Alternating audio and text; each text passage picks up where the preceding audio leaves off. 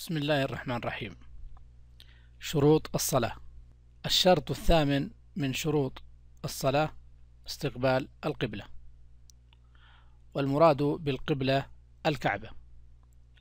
وسميت آه، قبلة لأن الناس يستقبلونها بوجوههم ويقصدونها. واستقبال القبلة شرط من شروط الصلاة بدلالة الكتاب والسنة والإجماع. فأما الكتاب فقوله سبحانه وتعالى ومن حيث خرجت فولي وجهك شطر المسجد الحرام وحيث ما كنتم فولوا وجوهكم شطرة. وأما السنة فالأدلة كثيرة نذكر منها قوله صلى الله عليه وسلم في المسيء صلاته إذا قمت إلى الصلاة فاسبغ الوضوء ثم استقبل القبلة فكبر. فقال هنا ثم استقبل القبلة. وهنا فعل أمر والأمر يقتضي أنه الأمر واجب. والإجماع فقد أجمع المسلمون على وجوب استقبال القبلة في الصلاة. هل تصح الصلاة دون هذا الشرط؟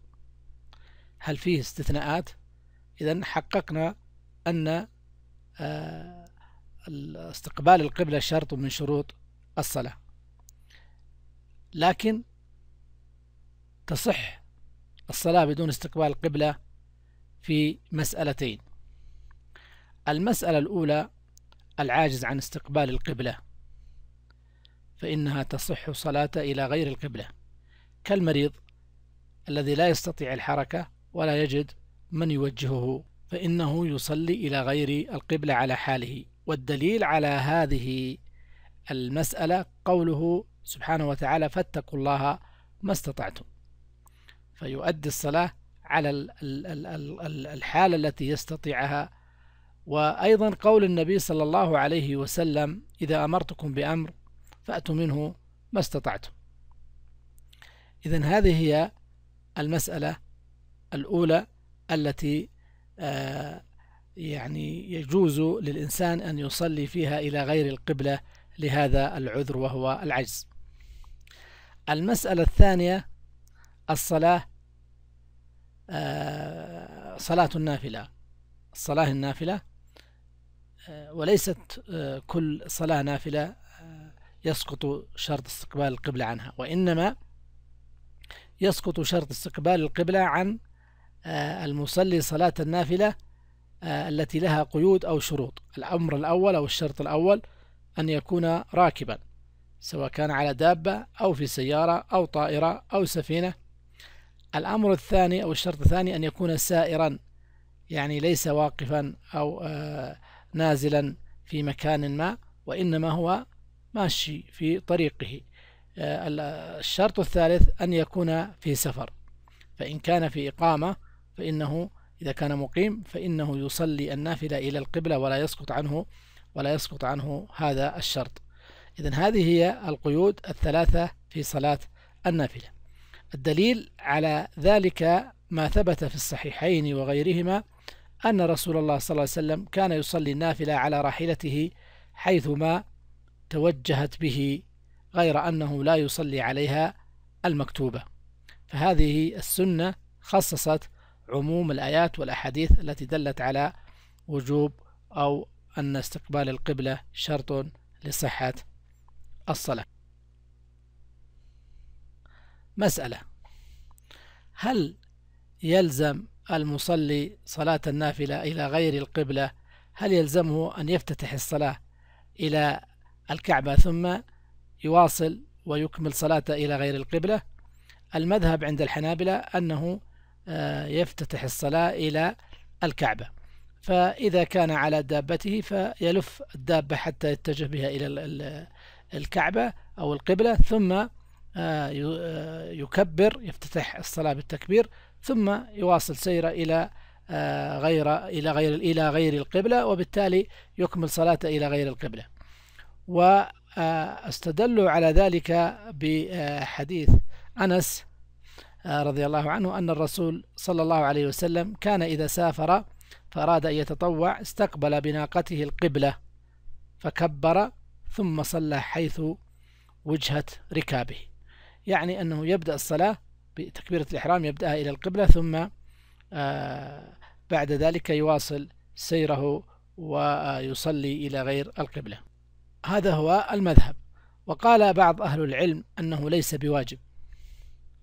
وهذا هو الراجح. والله أعلم. آه، لأن فيه آه، مشقة.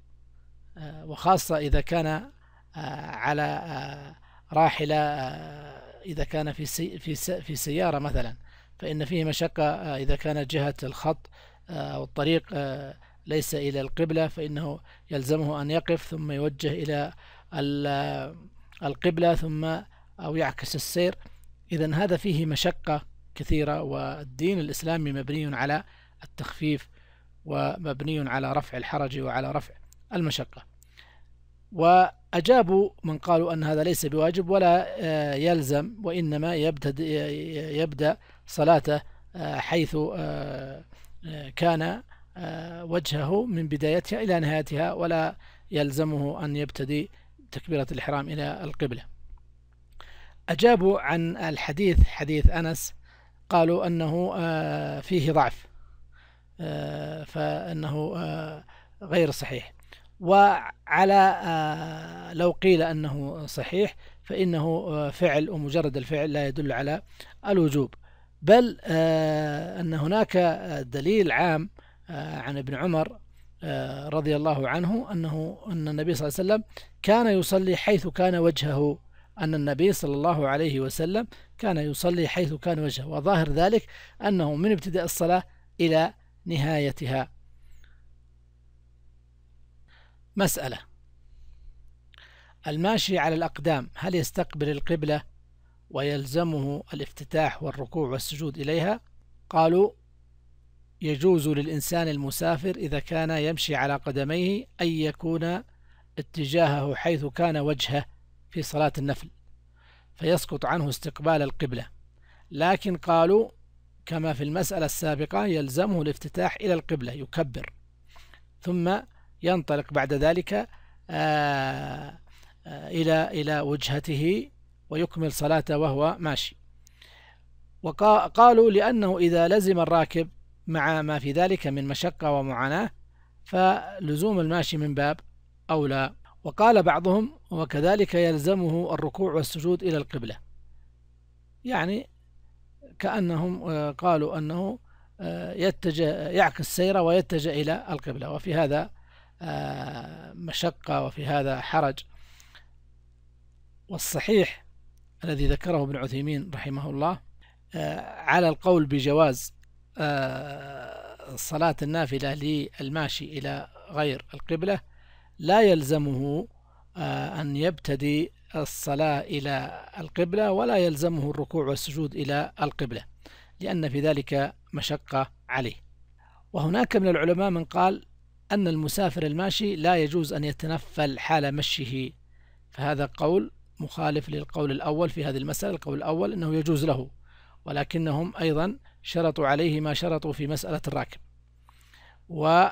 آه، الثاني عند بعض العلماء أن المسافر الماشي لا يجوز له أن يتنفل حال مشيه آه، إلى غير القبلة ولا ولا يجوز له أن يصلي وهو ماشي لماذا؟ قالوا لأن الماشي يعمل أعمال كثيرة ويتحرك حركات كثيرة بخلاف الراكب فإن الراكب على الدابة أو في السيارة يكون ساكنا لا يتحرك فلا يلحق آه، أو لا يلحق هذا المسافر الماشي بالمسافر الراكب في هذه المسألة. مسألة استقبال آه، القبلة هل هو هل يكون الاستقبال لعين الكعبة أم لجهتها؟ هنا حالتان. الحالة الأولى إذا كان في الحرم فإن فرض فإن فرضه من كان قريب من الكعبة آه، أن يصيب عين الكعبة. فإنه إذا صلى إذا كان في الحرم وصلى إلى غير عين الكعبة صلى إلى غير القبلة. آه، وهذا يمكنه مشاهدتها فلا بد أن يصلي إلى عين الكعبة. أما الحالة الثانية فهو من بعد عن الكعبة سواء خارج الحرم أو آه، في أي مكان في آه، في في صقاع في بقاع الأرض أو في أي صقع من الأرض فإنه حينئذ يكون بعيدا. أنه لا يمكنه مشاهدة الكعبة. فيتجه إلى جهتها وهذا هو الفرض الذي آه، يكون عليه. والله أعلم وأحكم.